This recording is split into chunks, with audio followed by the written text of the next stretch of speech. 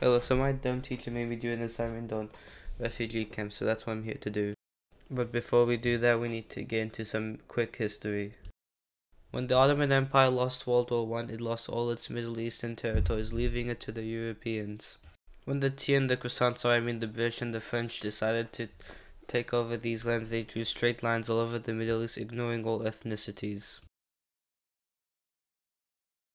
When these Middle Eastern colonies gained their independence, there were many ethnicities in these states that wanted their independence. This would cause lots of instability in the Middle East, causing lots of civil wars to happen.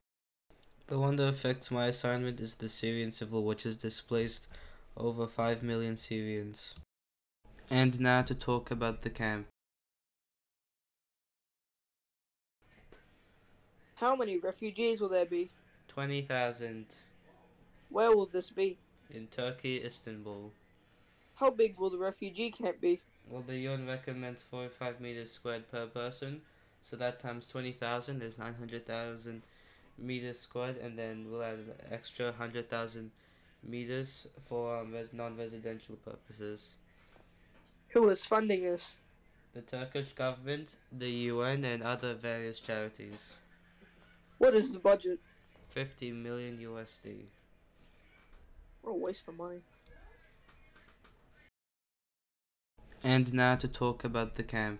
Here in this image, the orange represents the residential area and the blue represents the facility area. Altogether, the residential area should equal 900,000 meters squared and the facility area equal 100,000 meters square. The areas were separated the way they were so that refugees don't have to walk too far to get to the facility areas to buy the goods and needs they need. The rest of the stuff I'll be showing will only affect the residential area as the facility is expected to be funded by the UN or private companies. The private companies here are expected to be either making shops or other entertainment stuff so the refugees can feel like they have a normal life. Hospitals and schools will be funded by the UN as they have the proper standards and resources to fund that stuff. And now to look at the actual huts where the refugees will be living.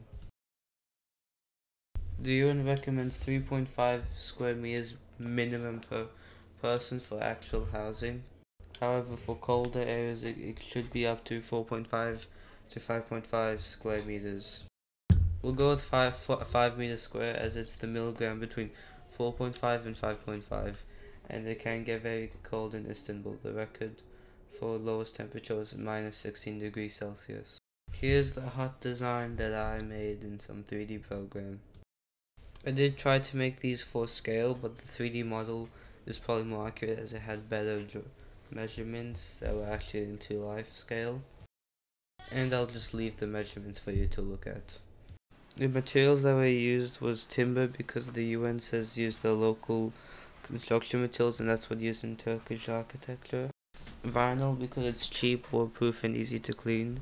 Epoxy resin will be added on the top to waterproof the roof. Now to get into the logistics of latrines and water taps.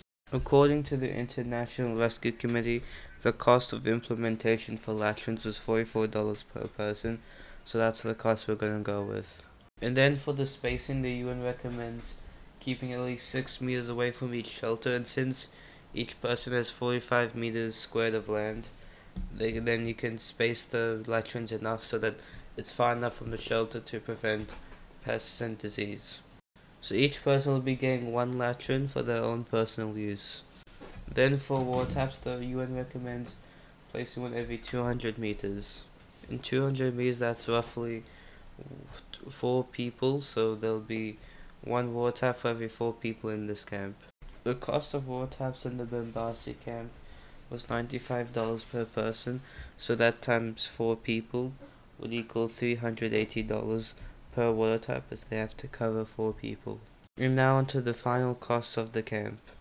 The huts each cost five hundred forty-one dollars, so that times twenty thousand is nearly eleven million dollars. The water taps cost one point nine million dollars, and all other costs will be covered by the UN. The total cost is thirteen point six million dollars. This leaves us with a cost of $36.3 million. that's the design of my camp.